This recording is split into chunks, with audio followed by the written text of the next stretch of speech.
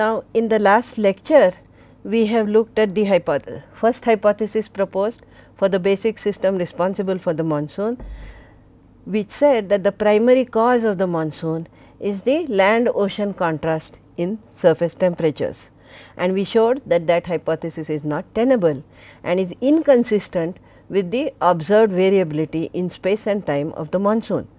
Now, today we will consider the second hypothesis which looks at monsoon as a manifestation of seasonal variation of tropical circulation and rainfall. So, according to the second hypothesis, the monsoon is a manifestation of the seasonal variation of tropical circulation in response to the seasonal variation of the solar radiation. Now, to understand this hypothesis, it is necessary to first get a background on tropical circulation itself. So, I will consider that first in this lecture. So, we first consider tropical circulation. Now, we have noted before that the energy that drives the atmospheric circulation comes from the sun. Since the atmosphere is almost transparent to the short wave radiation, most of it gets absorbed at the surface of the earth, be it land or ocean. So, the annual average of the solar radiation reaching the surface, which is here, is in fact maximum in the equatorial region. So, this is the annually average solar radiation reaching the surface of the earth in watts per meter squared and you can see that it is very large in the equatorial region. So, it is maximum in the equatorial regions of the earth. Thus, the atmosphere is heated from below with the maximum heating over the equatorial region for the annual average. So, if we look for simplicity first at the annual average, then the atmosphere is heated from below with heating being maximum at around the equatorial region and decreasing as you go poleward on either side. Now, this implies that the surface temperature also behaves in the same way. This is the annual mean surface air temperature and shaded regions are where it is very warm and you see that in the annual mean also the surface temperature is maximum in the equatorial regions and decreases as you go poleward. Okay. So, we have a situation in which the radiation incident uh, at the surface is also maximum in the equatorial region and the surface temperature is also maximum in the equatorial region if we look at the annual average. Now, so in response to this the annual average sea level pressure distribution also shows a presence of a low pressure belt or trough over the equatorial region. So, this is the annual mean sea level pressure distribution and what you see is again this is where the low low pressure region is or the trough is and that is also roughly in the equatorial region.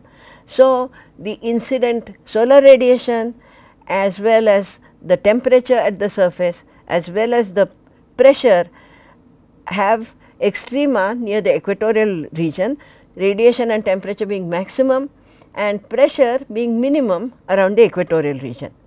Now, if we look at annual mean rainfall, annual mean precipitation in millimeters per day, that also is maximum in the equatorial region. This is the belt, rain belt if we look at the annual average. So, so, the annual average sea level pressure distribution also shows the presence of a low pressure belt or trough over the equatorial region and the annual mean precipitation distribution shows the heaviest rainfall occurs over the equatorial region. So, the if you look at the annual average then the entire action is over the equatorial region where there is maximum temperature, there is a trough and also maximum rainfall. Now, to understand the annual average of tropical temperature, pressure and precipitation distribution, one needs to consider the response of a fluid to heating from below which varies with latitude. Okay. So, we expect the annual average tropical circulation in the meridional that is to say north south and vertical plane to be rather similar to the Bénard convection we looked at in the last lecture. This is this if you remember Rayleigh number measures how much the heating is vis-a-vis -vis the viscous effects and effects of conduction and large Rayleigh numbers means viscous effects are relatively less and this is what happens to a fluid. Now, we are assuming in this case the fluid is non-rotating. when it is heated over this region, what you get is a circulation which with ascent here and descent in the surrounding region and these are the temperature contours. So, you get hot uh, region here and it becomes successively colder as you go up. And notice that the as the Rayleigh number increases that is to say the viscous effects become less and less important, we get a very very narrow zone of strong ascent and a broad zone of slow descent. This is Bénard convection. So, the atmospheric circulation near the surface would, so this is what we would get when the atmosphere is heated from below with the heating being maximum at the equatorial region. You expect to get ascent over the heated region over the trough region and descent in the surrounding region. Now, the atmospheric circulation near the surface involves winds from the north of the equatorial trough converging with the winds from the south of the trough in the trough zone. Okay. So, if you remember when we looked at the pressure distribution, if we have a trough zone around here around the equatorial region, in this trough zone you, you will get winds coming from the north in the northern hemisphere and from the south in the southern hemisphere. And remember we are looking at a very very large scale system extending over thousands of kilometers. So, for such a system then Coriolis force will also become important. So, because these are large scale systems rotation of the earth is important and due to the Coriolis force both these winds the wind coming from the north in the northern hemisphere the northerly winds as well as the winds coming from the south in the southern hemisphere southerly winds will acquire an easterly component. Okay. Thus, the winds will be from the northeast in the northern hemisphere and from the southeast in the southern hemisphere. So, an idealized picture of annual average circulation in the tropics would be as follows that there would be an equatorial trough here. This is the region of low pressure around the equator where the heating is maximum and the temperature is maximum. And into this low pressure you will get winds at the surface, but because of the Coriolis force they will get an easterly component because now the wind that tries to go this way will have a Coriolis force acting to its right in the northern hemisphere and to its left in the southern hemisphere. So, both these winds will get components from the east and the net result then is that the surface winds towards the equatorial trough will be from the northeast in the northern hemisphere and from the southeast in the southern hemisphere. These are the northeast and southeast trades okay? and they emanate from the high pressure regions here in the subtropical region. Now, the moist air converging in the surface layer over the trough ascends. This results in deep convection and heavy rainfall. So, at high levels above the trough, the air diverges and the circulation is completed by descent in the region surrounding the trough. This is called a Hadley cell. So, in fact, this rising limb of this Hadley cell which is located over the trough has been called equatorial trough by Riehl. Now, Riehl is one of the great contributors to our understanding of tropical meteorology and he called it the equatorial trough. So, here is a schematic picture of the tropical circulation in this is remember it is an annual average and so this trough region is over the equatorial region and what you get is trade winds converging into the trough ascending here and ascending throughout the troposphere diverging at high levels and then descending around this. So, this is the Hadley cell which is the circulation in the north south, this is the north south and vertical plane uh, if you look at the annual average. So, this is an idealized circulation that you have and uh, the rising limb of this uh, cell, this is the rising limb of the Hadley cell. This rising limb in fact involves deep convection or deep clouds and rainfall and this is called the equatorial trough by Riehl and also the ITCZ by Charney and we will come to that. Now, Riehl has also shown what the pressure distribution relative to the equatorial trough at different levels is. Okay. So, now this is pressure distribution relative to the equatorial trough which is supposed to be at this latitude 0. Okay. So, near the surface and up to even 2 kilometers or more there is a low pressure belt here. This is the equatorial trough and above say at the height of uh, these are actually in 100 millibars. So, around say 200 millibar or so what you see is a high overlying a low and air will diverge from this and then descend in the surrounding regions. So, this is the vertical structure of the pressure distribution around the equatorial trough. Now, since convergence of air from northern and southern hemisphere is an important feature of the rising limb of the Hadley cell, it is also been called the intertropical convergence zone because it is characterized by convergence of air from the two hemispheres northern and southern hemisphere. So, it has also been called ITCZ by Charney. Now, an idealized picture of axisymmetric component which is to say averaged over all the longitudes of the general circulation of the earth looks like this. So, we have a case this is an idealized picture of circulation which is averaged over all the longitudes mind you. These are the tropics. This is the equatorial trough and you have the northeast and the southeast trades. Actually in reality this cell the Hadley cell is restricted to the tropics and north of the Hadley cell is a mid latitude cell here which you can see. So, it also has a descending limb here and an ascending limb uh, north of 60 north or so and a similar one here. And then there is a polar cell. Now, why we get 3 cells and not just a single cell with the Hadley cell extending to the pole is a question I will not consider in this lecture, but it really depends on various parameters such as the rotation of the uh, rate of rotation of the earth, the heating that comes from the sun and so on and so forth.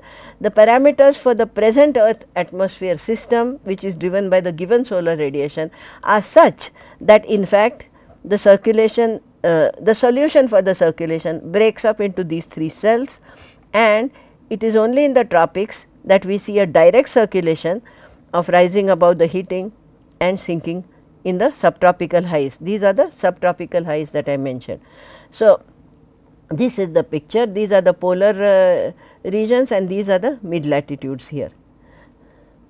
Now, this is the same picture which shows the surface winds uh, much more uh, colorfully perhaps and this is the ITCZ, you see the northeast trade winds, southeast trade winds converging in the ITCZ which also can be called the equatorial trough and these are the mid latitude westerlies, these are the subtropical highs which are also called horse latitudes and these are the polar, uh, this is the polar circulation that you have.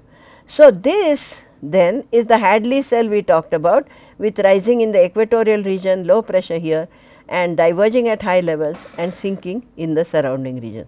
So, this is an idealized picture of the general circulation of the earth. Now, it is important to note that the ITCZ as Charney called it and the equatorial trough as Riehl called it are not only characterized by convergence in the lower troposphere. In fact, the word convergence comes also in the name ITCZ that Charney, Charney and others before him have uh, referred to this system as. So, not only is there convergence in the lower troposphere, but they are also associated with cyclonic vorticity above the boundary layer, okay? strong ascent of this air and deep convection with heavy precipitation.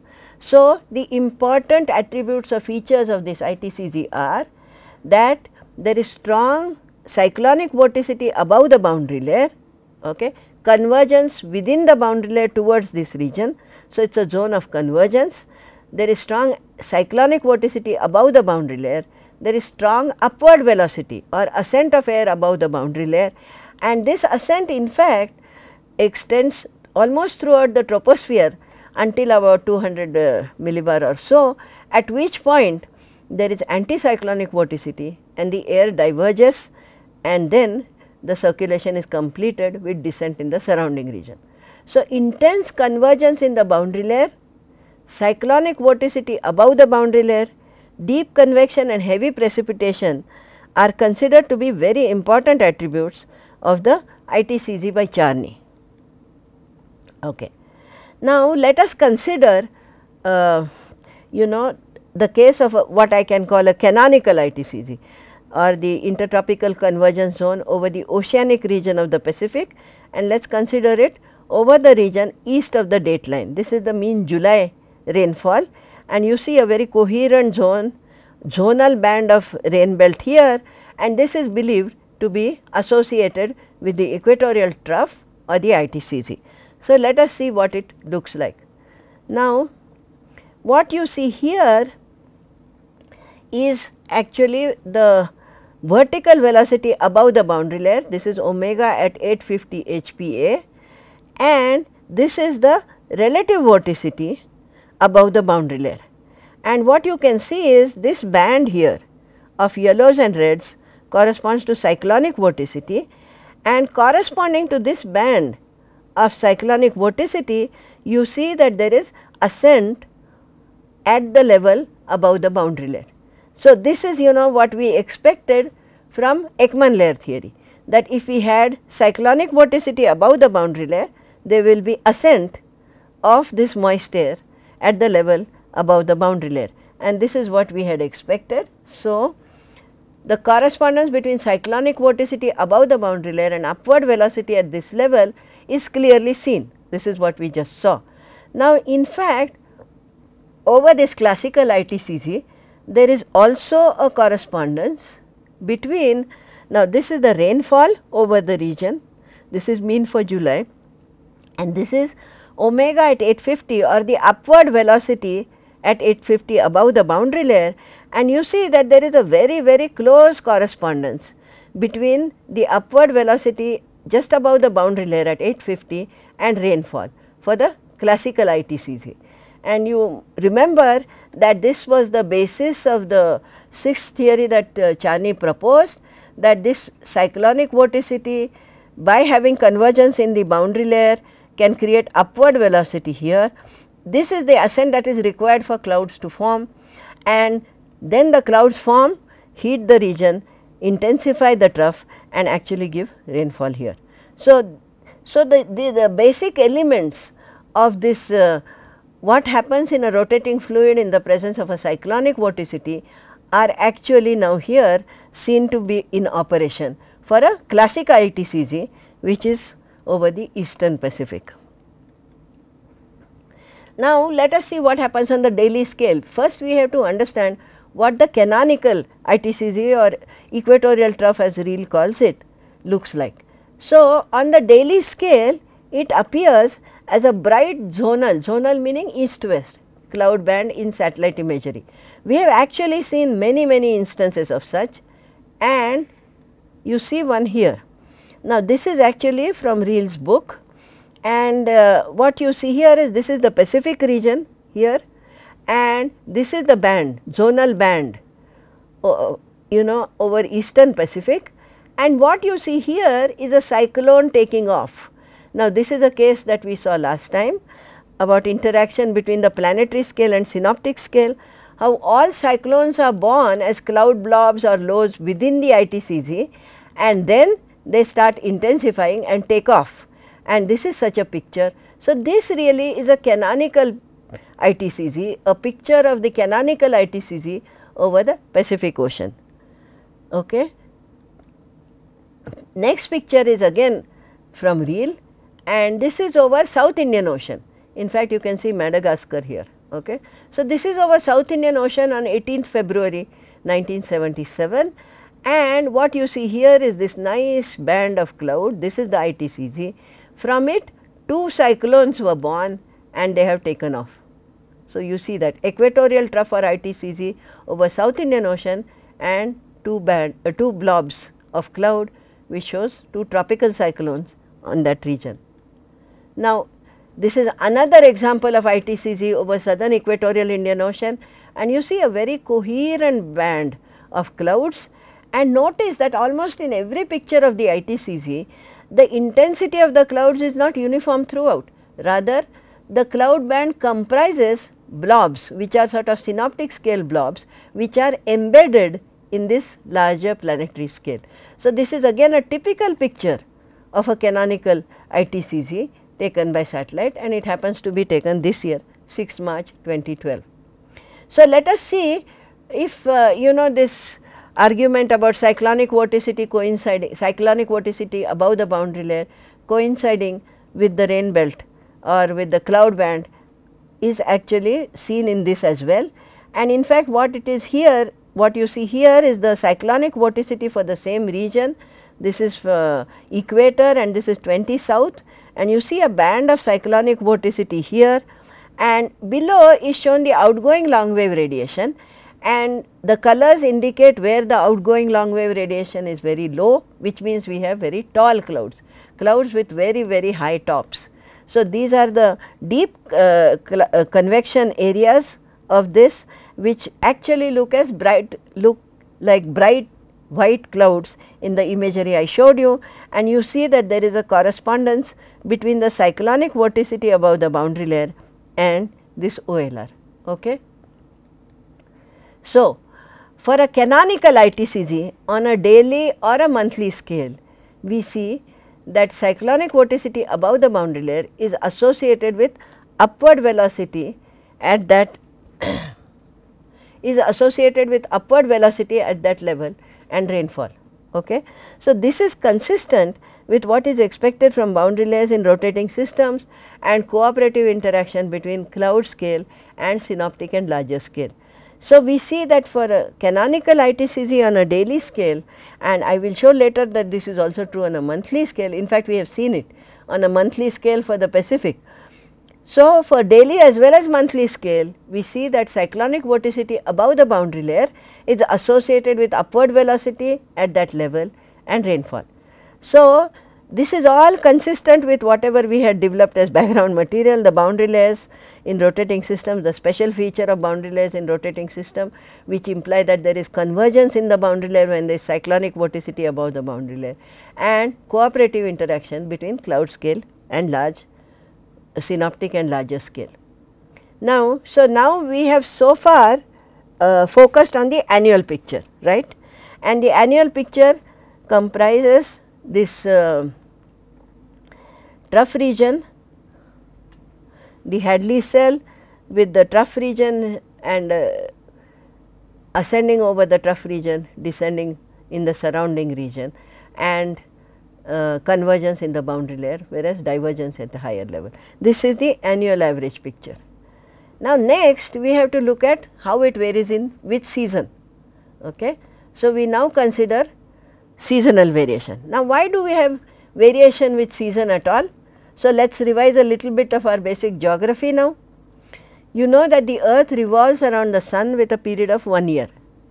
The axis around which the earth rotates once in a day is in fact not perpendicular to this plane. So, this is the plane ecliptic plane in which the earth is rotating revolving rather around the sun and it takes 365 and 1 4 days to complete one revolution.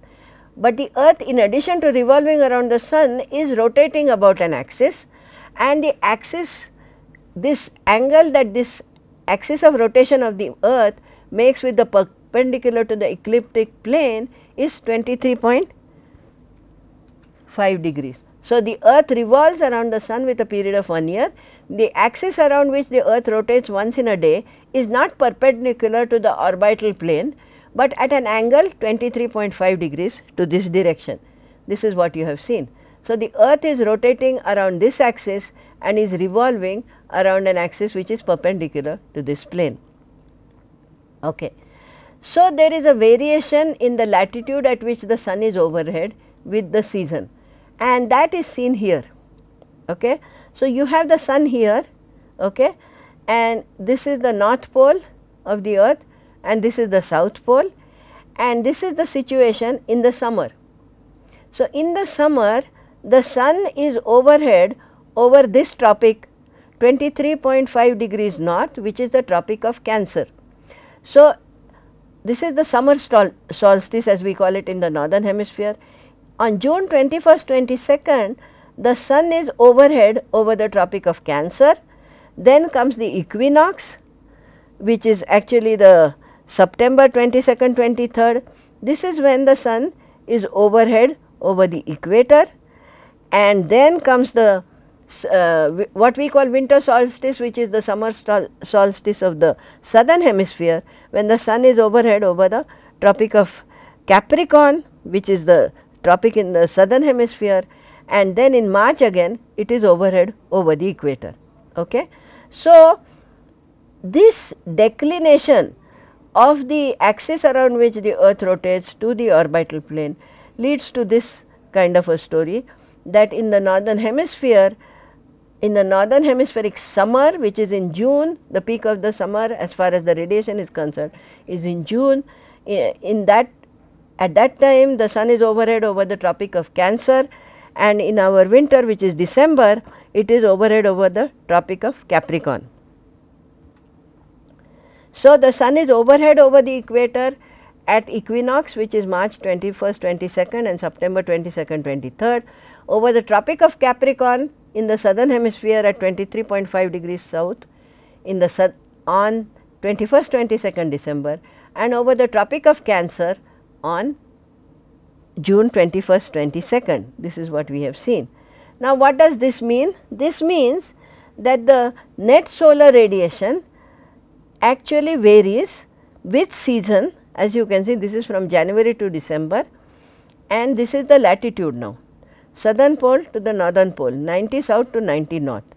What you see is that the maximum net radiation is always in the equatorial region, but the latitude at which it is maximum goes from the southern hemisphere in December, it starts moving northward, in June it is in the northern hemisphere and then again moves southward. So, this is the seasonal migration of the latitude of at which the net solar radiation is maximum.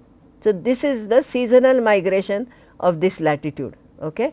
So, the net solar radiation at the top of the atmosphere when it is zonally averaged as a function of latitude and month shows very clearly the seasonal migration of the belt of the region where it is high which is this migration here and the maximum is shown by the dashed line which you can see going from the southern hemisphere to the northern hemisphere in June and returning to the southern hemisphere in December.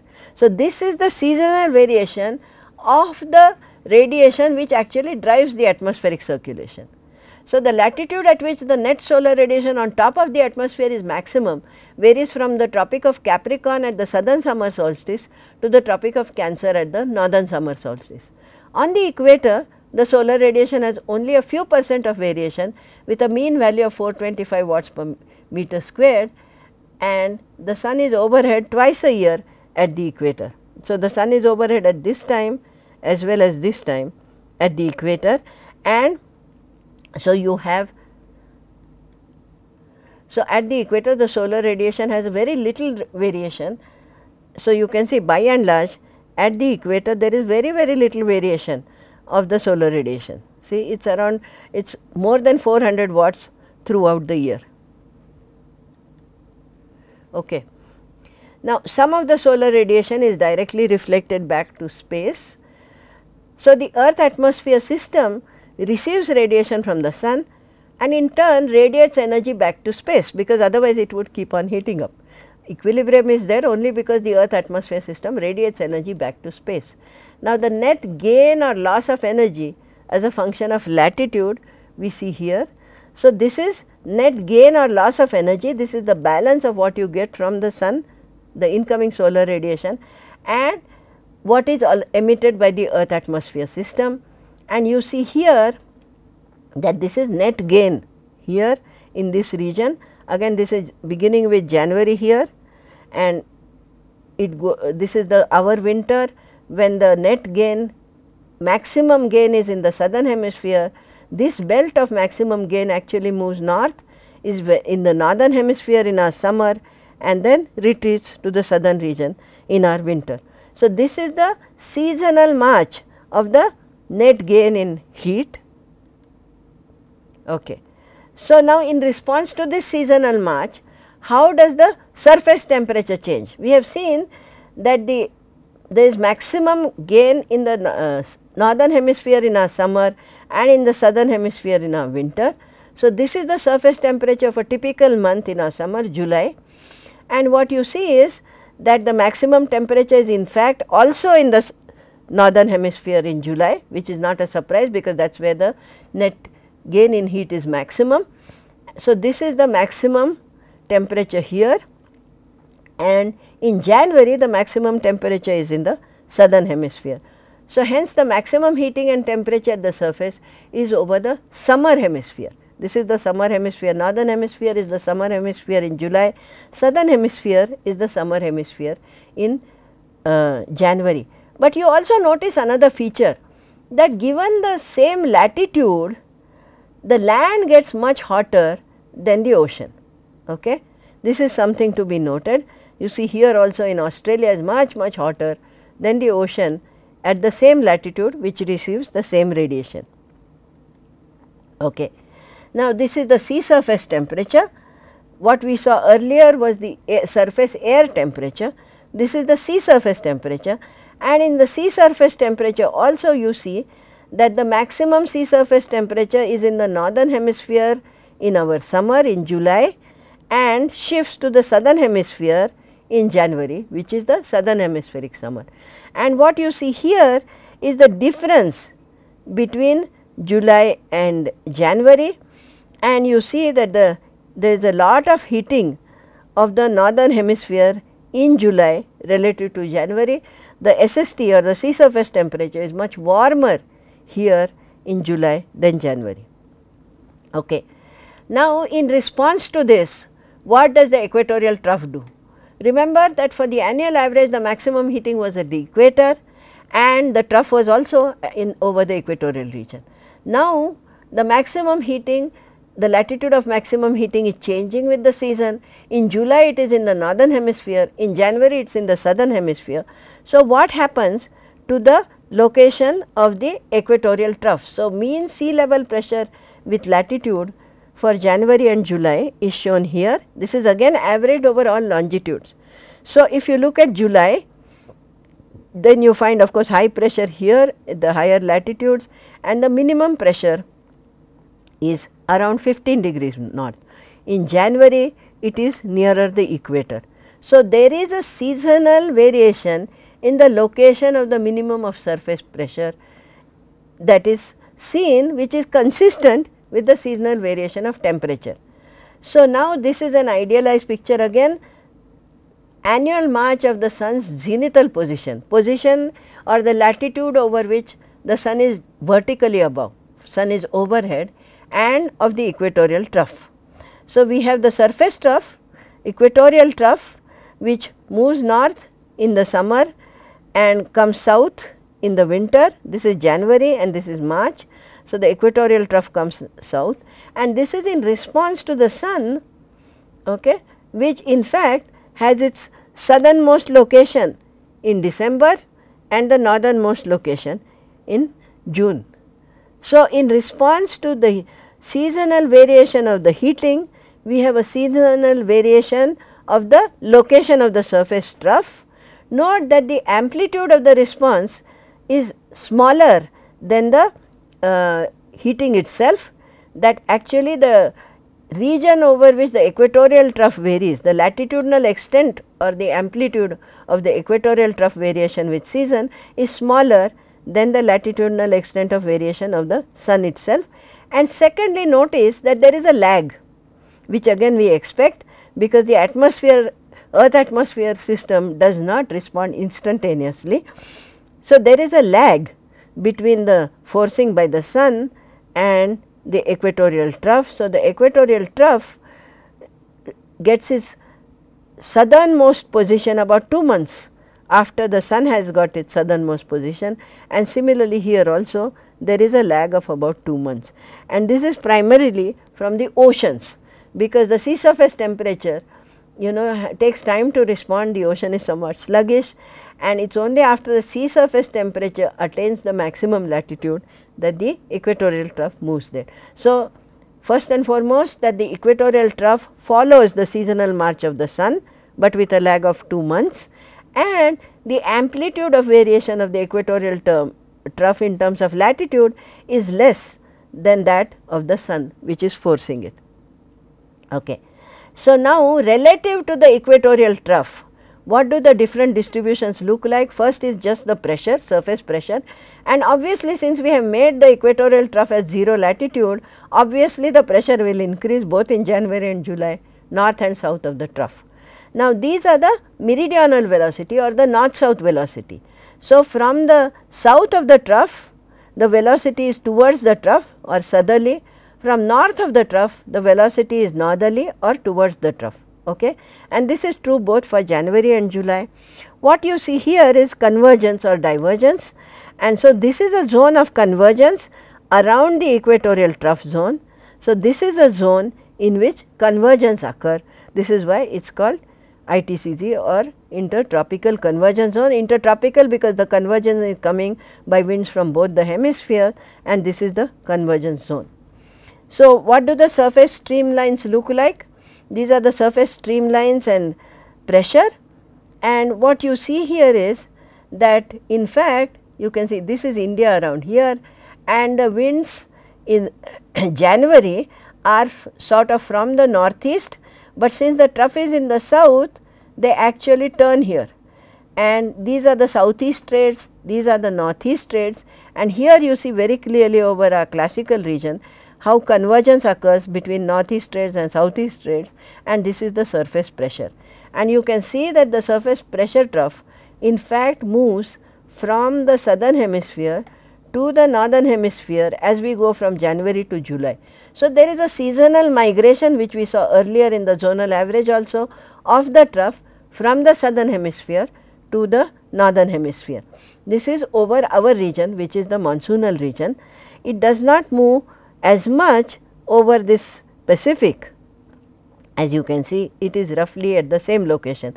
So, the amplitude of seasonal variation is not the same over all longitudes, it is more over some longitudes and less over other longitudes.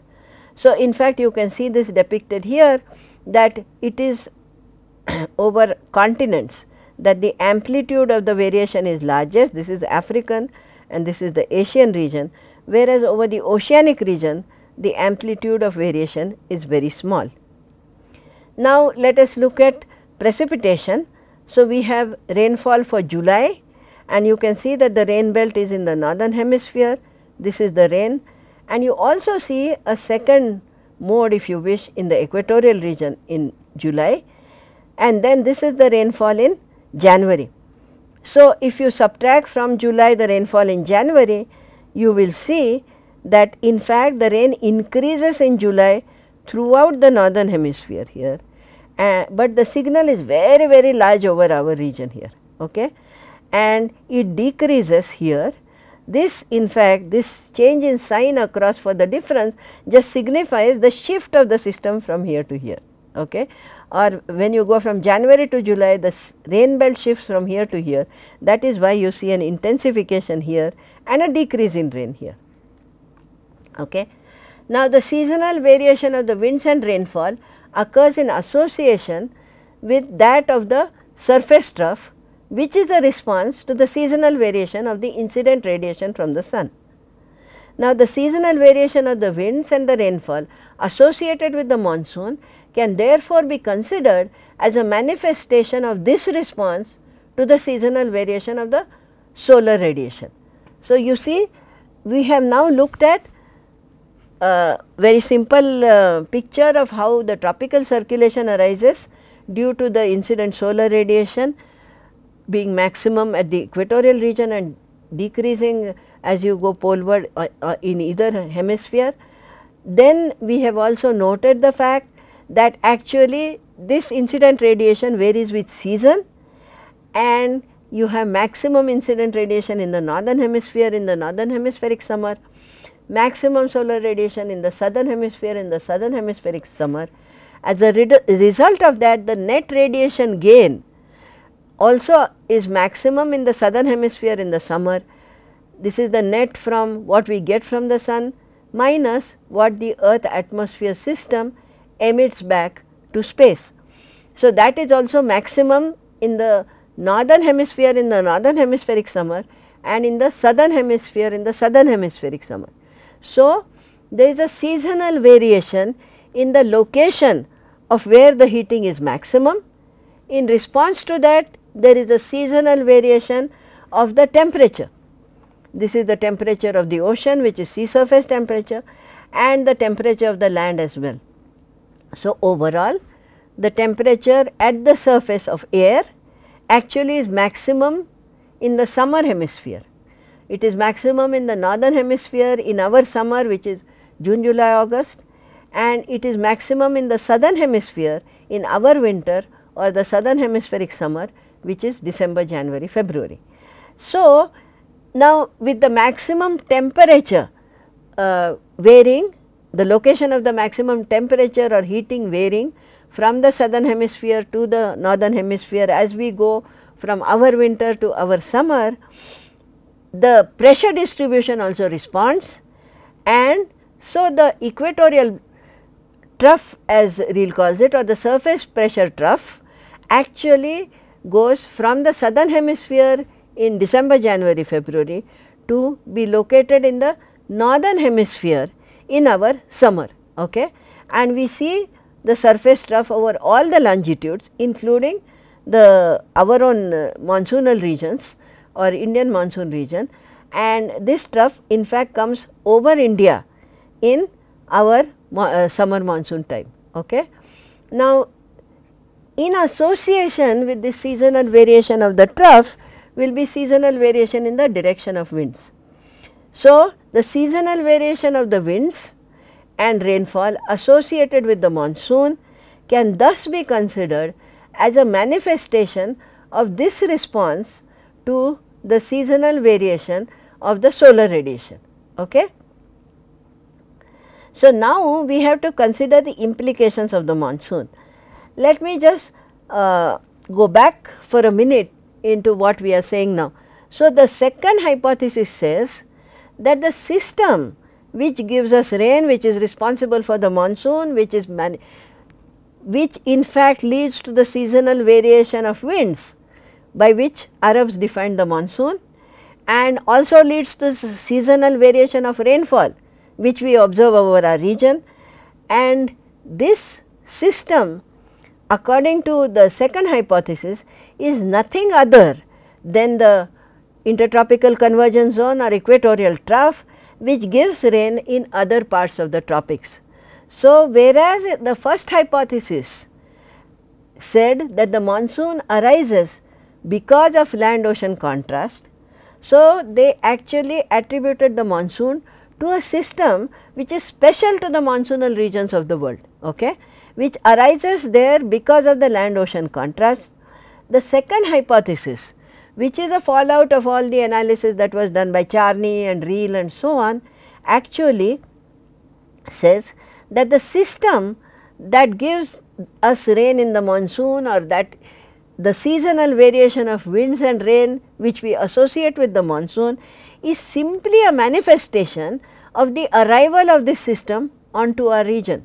Arrival of the ITCZ onto our region during the summer and then the system retreats from our region to the winter hemisphere in our winter.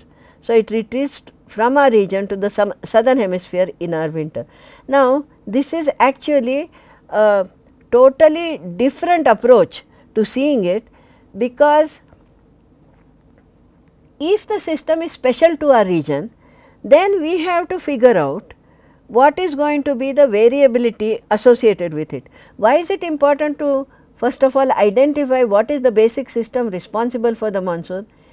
As we saw in the critique of uh, the land ocean contrast as the primary source, primary forcing of the monsoon that Simpson uh, talked about. He said that you know actually the land ocean contrast is minimum when the rain is maximum and where the rain is maximum. Remember he pointed out that when India is at its hottest in May there is no rain and when it cools down in July there is plenty of rain. So, this is opposite to what one would expect from the land ocean contrast being the primary driving force of the monsoon. Similarly, he mentioned that actually the rain is least where the temperature is hottest, this is over Rajasthan. If you look at the mean picture, we have maximum rain over the eastern part of the monsoon zone, Orissa and eastern UP and so on and so forth, whereas the western part of the monsoon zone towards the northwest which actually tapers into the Rajasthan desert that is the region where the temperature is highest. So, for that region the land ocean contrast would be highest, but that is not where most of the rain occurs that is where the rain is minimum. And he also pointed out that if we compare seasons rainfall seasons in which we get a lot of rain vis-a-vis seasons in which we have droughts like we had a recent drought in 2009 and we had very good rains in various years 1998, 1975 and so on and so forth. If we compare those two seasons. Then with land ocean contrast theory we would have expected that actually land would be hotter in those years in which the rain is more, but opposite is seen. And this was shown very nicely by Kothawale and Roop Kumar that if we compare years of extremes that is droughts vis-a-vis excess rainfall seasons, then systematically what we see is that at the surface in fact the air temperature is colder for excess monsoon seasons and warmer for droughts. So, the land ocean contrast is actually less for good rain seasons than it is for poor rain seasons. So, this again goes against the theory that uh, su that suggests that in fact it is a system which is primarily driven by land ocean contrast. On the other hand, what we are now saying is that the monsoon is a man manifestation of the annual visit to our region of the ITCZ, the intertropical convergence zone or the equatorial trough as Riehl called it. So, it is a region, it is in fact a vis annual visit of the system which gives rain all over the tropics. It is the same system that gives rain over East Pacific that we saw.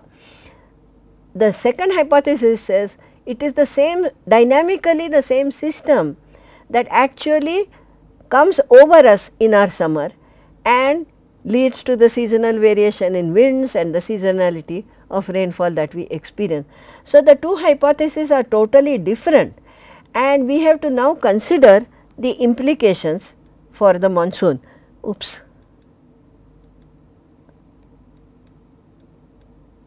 Okay. So, this is the January and July pattern Okay. So, now next we are going to consider what are the implications of saying that the system that gives us the monsoon is not not a system which is special to the monsoonal regions of the world driven by primarily by land ocean contrast, but rather is a system that is responsible for the rainfall all over the tropics which comes to visit us every monsoon season. So, according to the first hypothesis monsoon is considered a gigantic land sea breeze driven primarily by the differential heating between land and the surrounding ocean. And according to the second hypothesis the critical factor is the latitudinal variation of heating at the surface induced by that of the radiation of the sun. So, the system according to the second hypothesis is driven by the latitudinal variation in the heating of the sun at the surface and the seasonal variation of this heating. So, the second hypothesis says that the critical factor is latitudinal variation of the heating and seasonality of the latitudinal variation of the heating from the sun. Thus, the monsoon is considered to be a manifestation of the seasonal variation of the tropical circulation and rainfall in response to the seasonal variation of the incoming radiation. Now, the implications in terms of variability and so on are very different. A lot of work has been done on the intertropical convergence zone, on the oceans and what we are now saying is that the basic feedbacks that operate, the basic uh, mechanisms which lead to the variability of the intertropical convergence zone, the classical canonical intertropical convergence zone that we see over the Pacific will also in fact be operating over the monsoonal region when the ITCZ visits us. So, the hypothesis to explain the variability of the monsoon will be very different because now we are saying that the system is the same one that we see over the tropical oceans. Only thing is now it has come over land and that would mean that other factors will also become important when it comes over land. But the insight gained into the dynamics of the ITCZ over the years over various studies can now be used to gain an insight into the variability of the monsoon. So, now in the next lecture we will actually see uh, what are the implications of assuming this and why do we believe that the monsoon is just a manifestation of the seasonal variation of tropical circulation and rainfall. Are, there have been you know this has been asserted by me at this point, but we need to actually show that the system is indeed the same as the one that gives rain over the tropics and that is what I will show you in the next lecture. Thank you.